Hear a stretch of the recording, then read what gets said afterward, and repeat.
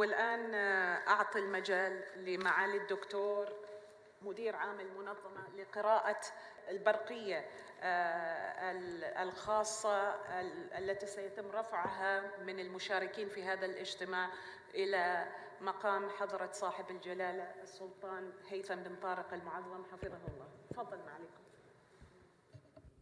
حضرة صاحب الجلالة السلطان هيثم بن طارق آل سعيد سلطان عمان حفظه الله ورعاه. السلام على المقام السامي ورحمة الله وبركاته. وبعد فيتشرف المشاركون في مؤتمر ليسسكو الثالث لوزراء التربية والتعليم في ختام أعماله التي عقدت يومي 2 و3 من أكتوبر 2024 في رحاب مدينة مسقط. عاصمة بلدكم الزاهر بأن يتقدموا إلى جلالتكم بأسمى عبارات الشكر والامتنان والتقدير.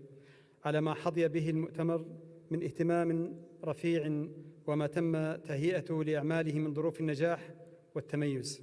وعلى دعمكم الموصول للعمل المشترك في مجالات التربية والتعليم وفي المجالات كافة خدمة لقضايا التنمية المستدامة في العالم الإسلامي.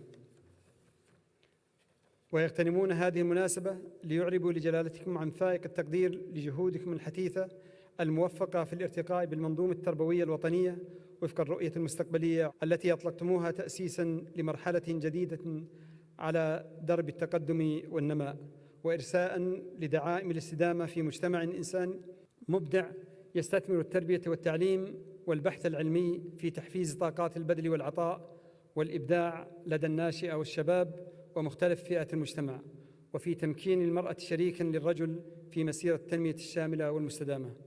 وإننا نشيد بإنجازات بلدكم الباهرة في تطوير المنظومة التربوية والتعليمية والتقدم بها نحو تحقيق التطلعات التنموية الوطنية ندعو الله أن يحفظكم ويوفقكم ويحقق بقيادتكم الحكيمة المزيد من التقدم والازدهار لشعبكم ولبلدكم الكريم وأن يبقيكم دعما وسندا لأمتكم الإسلامية المجيدة.